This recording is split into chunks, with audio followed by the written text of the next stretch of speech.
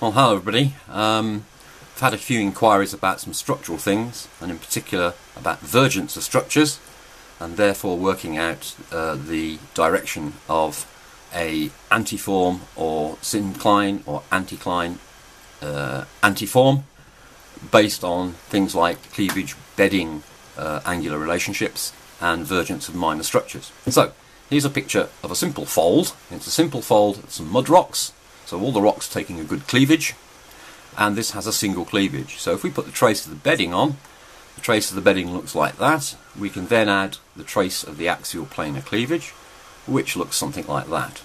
So one of the uh, key points here is that towards the hinge of the fold, um, there is an angular relationship somewhere in there, right on the hinge, where cleavage and bedding are at 90 degrees to one another. If we go on to this limb of the fold here, we can see that the bedding is steeper than the cleavage, but on this limb of the fold here, the cleavage is steeper than the bedding, and using that information, you can therefore look at the vergence of the structures.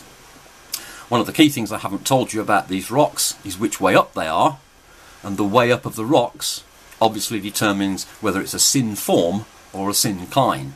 So if the rocks are the right way up, it's a syncline.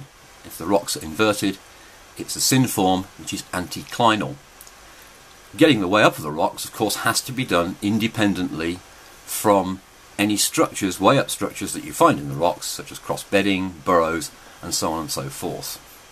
So let's move on just a little bit to vergence of stru minor structures. So if we have a simple um, fold couplet like that, which is synform antiform, what of course we know is that minor structures will have a similar vergence uh, on each side of that fold. So what we have is two geometries of three sorry three geometries of fold vergence.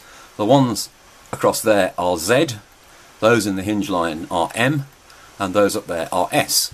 So if you know where you are in terms of the geometry, Z, M or S, you can get um, a location on a major structure from the vergence of minor structures.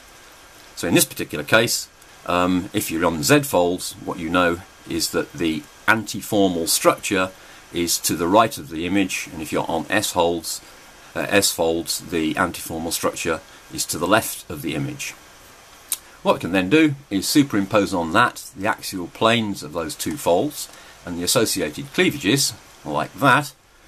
Okay, and what you'll see is that the angular relationship, again, uh, cleavage and bedding, is similar to the previous diagram, so that here we've got bedding steeper than cleavage, okay, and uh, over here we've got cleavage steeper than bedding. So that's just a few little points about vergence. The key thing is though, to know whether you're antiformal or synformal requires looking at way up structures within the rocks themselves and that has to be done independently of any uh, measure of fold vergence. So, I hope that's of some uh, reasonable use to you.